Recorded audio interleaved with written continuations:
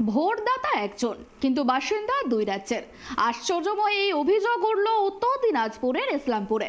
নিয়মত দুই রাজ্যের ভোটার তালিকায় নাম রাখা বেআইনি, অথচ কি করে দুই রাজ্যের ভোটার তালিকায় নাম? এই প্রশ্নেরই উত্তর খুঁজতে হিমশিম ব্লক প্রশাসন। একই বাসিন্দার দুই রাজ্যের ভোটার তালিকায় নাম থাকার ঘটনার খবর সম্প্রচারিত হতেই নড়ে চড়ে বসল ইসলামপুর ব্লক প্রশাসন। বৃহস্পতিবার সন্ধ্যা রাতে ইসলামপুর থানার গুঞ্জরিয়া এলাকায় ব্লক প্রশাসনের আধিকারিকদের ভোটার তালিকা নিয়ে তদন্তে নামতে দেখা গিয়েছে। ভোটার তালিকা সংক্রান্ত এই তদন্তের জেরে গুঞ্জরিয়া এলাকায় শোরগোল পড়ে যায়। বাংলার পাশাপাশি বিহার রাজ্যের কিষাণগঞ্জ জেলার ভোটার তালিকাতে নাম থাকা বাসিন্দাদের বাসস্থান, কর্মস্থান সব জায়গাতেই সরজমিনে তদন্ত শুরু করেন ব্লক প্রশাসনের আধিকারিকরা।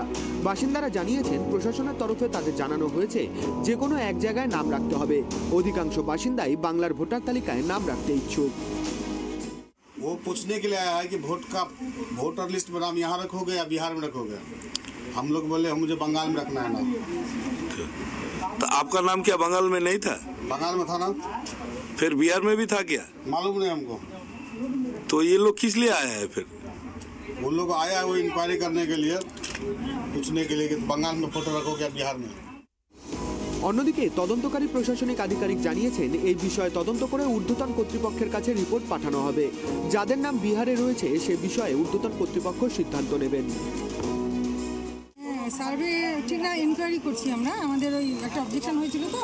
কতজনের নাম নাকি বিহারেও আছে ওয়েস্ট বেঙ্গলেও আছে? সেটা সার্ভে করে দেখলাম অ্যাকচুয়ালি ওনারা এখানে থাকেন কিনা এখানে বসবাস করেন। সেটাই আমরা অ্যাকচুয়ালি সার্ভে করতে তো মোটামুটি এখনও মানে কতজনের পেয়েছেন আমরা সার্ভে করলাম আমরা মোটামুটি পনেরো জন। আমরা তার মধ্যে চারজন মতন দেখলাম এখানে থাকেন না। আর একজনকে খুঁজে পেলাম।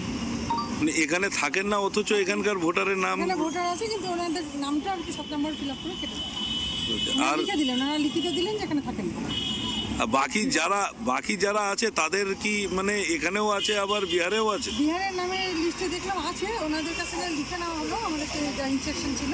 ওনারা এখানকার স্থায়ী বাসিন্দা দেখলাম ওনাদের কাছে ওটাই লিখিত নিলাম যে ওনারা এখানে স্থায়ী বাসিন্দা সব মিলিয়ে তদন্ত শুরু হলেও বাংলার ভোটার তালিকায় নাম থাকা বাসিন্দাদের বিহারের ভোটার তালিকা থেকে নাম বাদ যাবে কি? এই বিষয়ে সন্দেহ কিন্তু থেকেই যাচ্ছে।